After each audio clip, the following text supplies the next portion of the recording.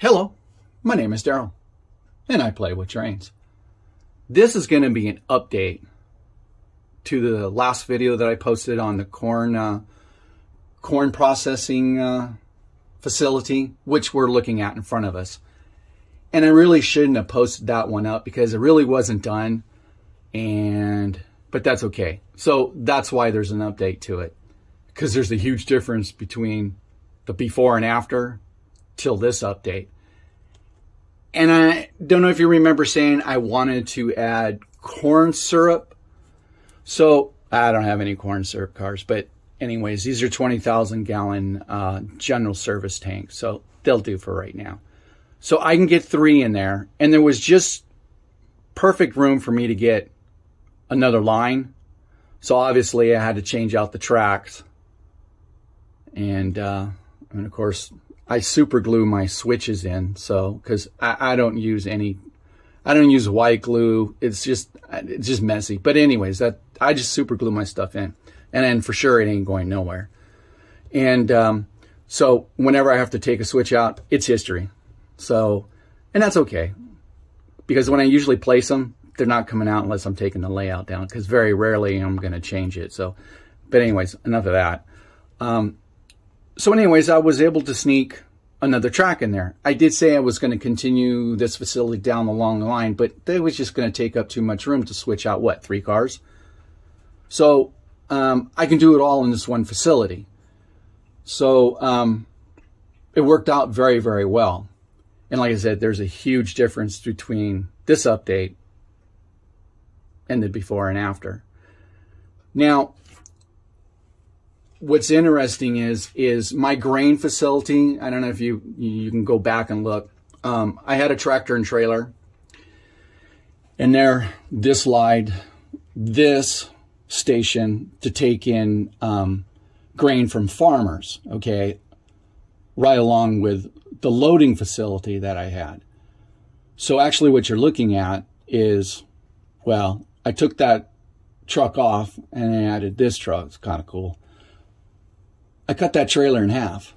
So the original color of that trailer, top of it, it's white. This one over here, I just painted black. So I used the other half as the end result, looking like a truck and trailers leaving the property. So that worked out pretty well. So like I said, this is 90% done. The only thing that I got to find is um, ways from the building to um, uh, load the container cars. There's not enough room for the conventional way, so I got to come up with a way, and it it it it'll be fine. But uh, for right now, I'm done with this area.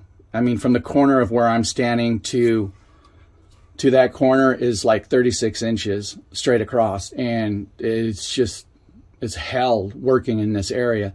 And I always try to work the areas first in the corners or the most difficult areas first. Now, there's another interesting part to this that I did. This track right here is just serving as a um,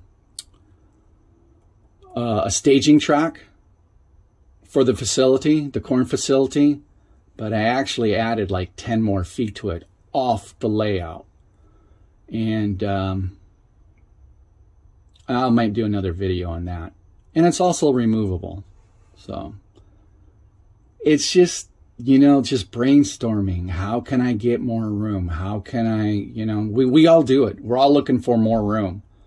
So, and since really I I do have a yard, but I don't.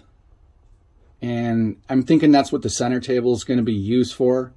So, but anyways, enough of that. Okay, well, I hope you guys all enjoyed the video.